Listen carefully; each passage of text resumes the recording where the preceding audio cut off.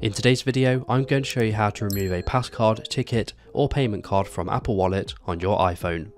The first thing we need to do is to open the wallet application on our iPhone and you should see a list of all of your payment cards above and below that a list of all of your passkeys, tickets and other cards below.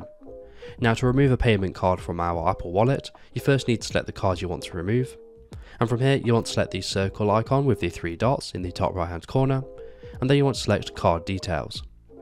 From here you want to scroll all the way to the bottom of the card details page and you'll see remove card.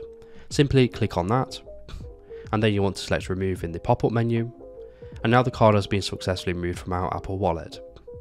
Now if you want to delete a passkey, ticket or other card, you want to select that from the list below and then from here we need to do the same thing, so you want to click on the circle icon with the three dots in the top right hand corner, and then you want to select remove pass.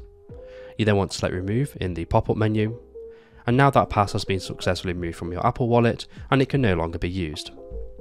Once we've done this, we can exit out of the wallet application and we can start using our iPhone just as we normally would.